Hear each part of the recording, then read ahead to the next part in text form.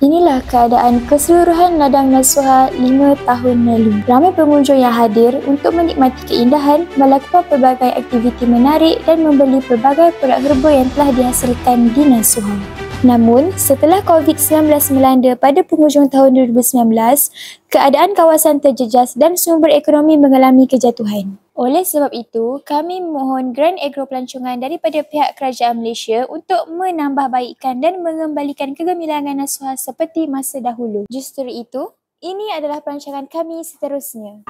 Hai, saya Fatin. Hai, saya Hazika. Kami dari Nasuha. Kami akan menunjukkan projek perancangan pembangunan semuda ladang herba dan rempah ratus Nasuha. Okey, jom ikut kami. Ha, inilah dia galeri pengunjung yang telah 60% siap pada tahun 2018 namun terpaksa diberhentikan disebabkan kekurangan dana. Apa kata jom kita tengok dalaman galeri ini. Galeri ini menggunakan konsep semula jadi bermotifkan kayu dan batu asli. Bahagian asas seperti lantai, dining dan shilling telah siap dibina. Namun, beberapa perkara perlu dilengkapkan. Antara kelengkapan yang diperlukan adalah papan pameran informasi, pencahayaan dan dekorasi interior, perabot pameran display dan pendingin hawa.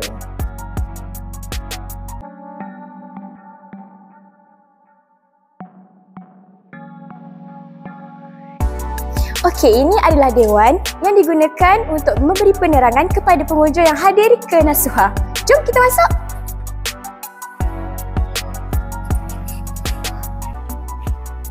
Dewan ini memerlukan ruangan sudut penerangan informasi, sound system dan beberapa kelengkapan untuk memberi kesesaan kepada pengunjung yang datang ke tempat kami.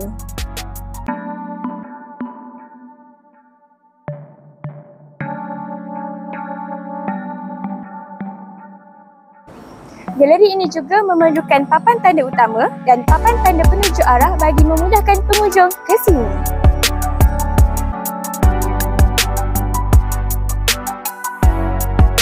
Kami juga memerlukan penaik tarafan papan tanda bagi memudahkan pelanggan untuk datang ke tempat kami.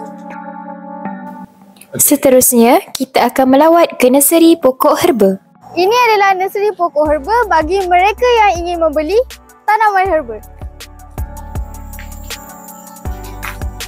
Nursery ini menjual pelbagai jenis pokok herba yang dibawa dari dalam dan luar negara antaranya adalah temulawak, pecah beling, halia bara dan macam-macam lagi. Kami memerlukan rak jualan yang bersesuaian ataupun proper untuk kami meletakkan pokok-pokok ini. Selain itu, kita juga mempunyai landscape laluan pejalan kaki yang sedia ada tetapi kita hanya memerlukan pembersihan dan ditambah baik. Sekarang kami akan bawakan kepada kawasan perancangan penambahbaikan bagi lawatan kepada pengunjung. Sebelum ini, aktiviti lawatan akan dibahagikan kepada dua pilihan sama ada menggunakan tram ataupun pengunjung boleh berjalan kaki di Taman Tasik Herba. Ini pula merupakan kawasan pejalan kaki yang diberikan kepada pengunjung untuk membuat lawatan ke ladang ini. Laluan pejalan kaki ini adalah sepanjang 500 meter. Laluan pejalan kaki ini juga dibina dengan sangat selesa dan mempunyai tempat duduk di sepanjang jalan.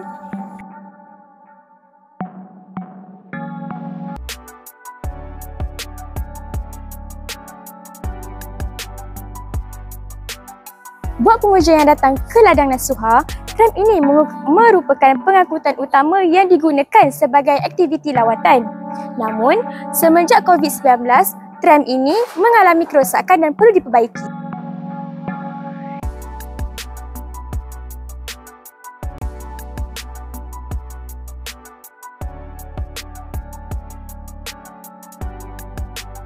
Ha, ini adalah pentas untuk aktiviti taklimat, penerangan dan demonstrasi kepada pengunjung.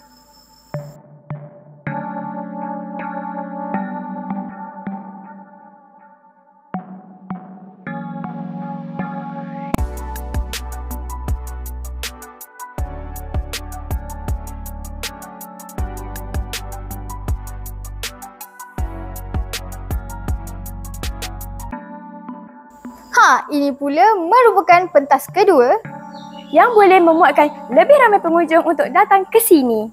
Jom. Jom. Pentas ini akan digunakan sebagai tempat memberi penerangan tentang pokok-pokok herba yang ditanam di sini. Selain itu, ruangan sudut informasi dan pameran juga akan dibuat supaya dapat memberikan maklumat yang lebih mendalam kepada pengunjung. Ha, tempat ini juga akan dinaik taraf dengan aktiviti air yang bersesuaian dengan pengunjung yang akan datang ke sini. Sebuah bangunan telah dibina bagi menyediakan keperluan kepada pengunjung seperti makanan, minuman dan barangan cenderamata. mata. Sepanjang laluan ini telah pun ditanam lebih daripada 50 jenis tanaman herba dan rempah ratus untuk tatapan pengunjung. Kerja-kerja pengindahan landscape perlu dibuat bagi menarik perhatian pengunjung yang datang ke sini. Kawasan ini akan dijadikan sebagai checkpoint terakhir bagi laluan pengunjung. Antara pembaharuan yang perlu dilakukan adalah pengindahan landscape, penanaman semula pokok dan pemasangan pagar.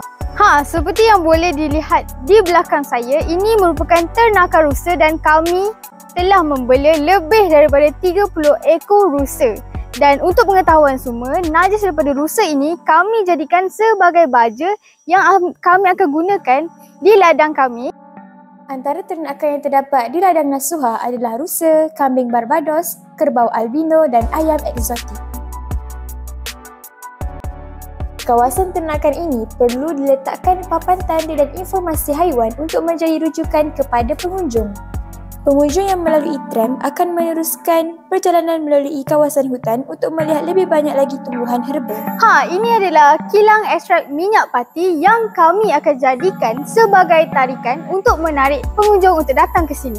Kami akan menambah sudut exhibition atau pameran kepada pengunjung mengenai informasi dan juga produk yang dihasilkan. Di sini juga pengunjung dapat melihat bagaimana cara pengekstrakan minyak daripada permulaan sehingga akhirnya menjadi sesuatu produk yang terbaik.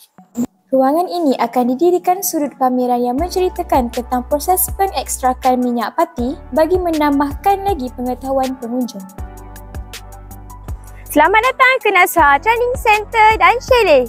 Jom kita lihat apa perancangan yang ada di sini.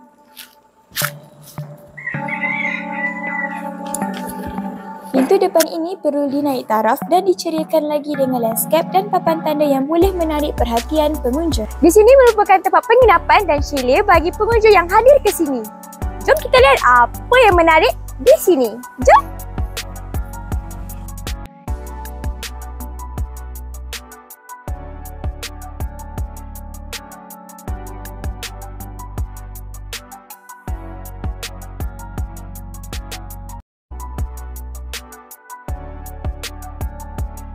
Chalet ini perlu membaik pulih prasarana asas seperti struktur bangunan, sistem pencahayaan dan keindahan landscape.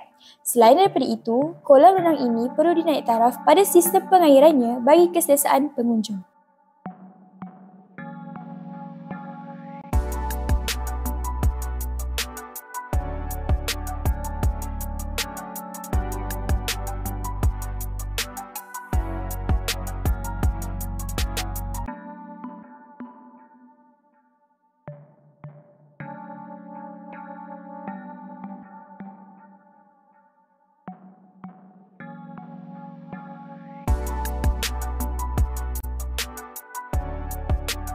Ini adalah Dewan Azhar yang boleh memuatkan lebih daripada 100 orang di mana kita boleh melakukan aktiviti indoor di dalam dewan ini.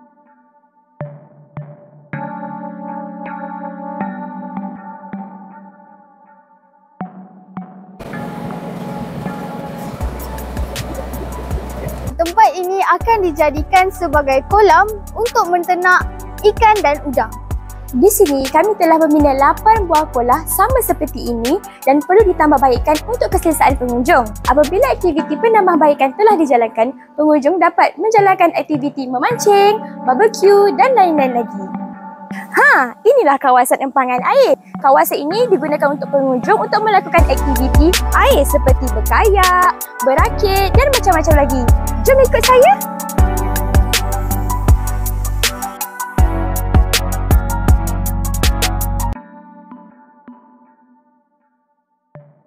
Kawasan empangan ini perlu disediakan lagi dengan pengindahan landscape dan mewujudkan papan tanda informasi dan penunjuk arah. Selain daripada aktiviti air, kita juga ada aktiviti elementali tinggi. Ha, tengok tu, Flying Fox. ia akan merentasi tasik tersebut. Ini pula adalah kawasan obstacle course. Kawasan ini perlu ditambah baik dengan mewujudkan tempat aktiviti mesra kanak-kanak seperti taman permainan. Selain daripada aktiviti air yang kami wujudkan, kami juga dalam proses pembangunan dalam penternakan kolam air tawar. Dalam untuk mewujudkan lagi pengunjung ke sini, kami juga ingin melaksanakan aktiviti paddleboard di sini. Kawasan ini telah pun dibersihkan dan ditambah untuk meneruskan lagi perancangan aktiviti di sini.